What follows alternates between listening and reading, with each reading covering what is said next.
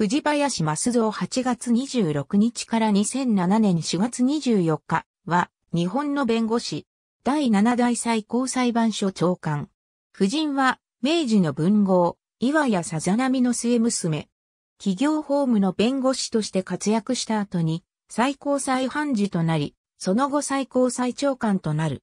現在に至るも、唯一の弁護士出身の最高裁長官であり、68歳9ヶ月での最高裁長官就任は歴代最高齢である。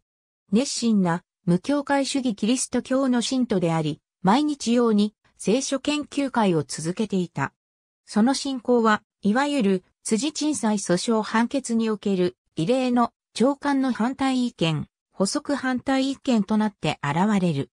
後に彼は自らの法律家としての人生はまさにこの判決のためにあったようなものと述回しているほど、この判決の執筆に力を入れたと言われる。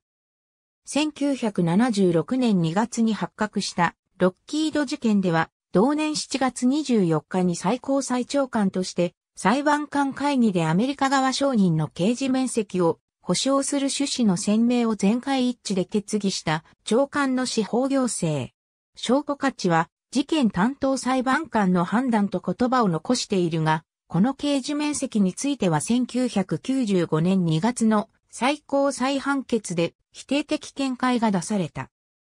1956年2月以降は司法修習生に国籍条項が存在していたが、1977年3月23日の最高裁裁判官会議で司法修習生の国籍条項は残したまま憲法と法律を遵守するという誓約書を提出させるとした上で、外国人について相当と認めるものに限り、採用するとの方針を示した。ありがとうございます。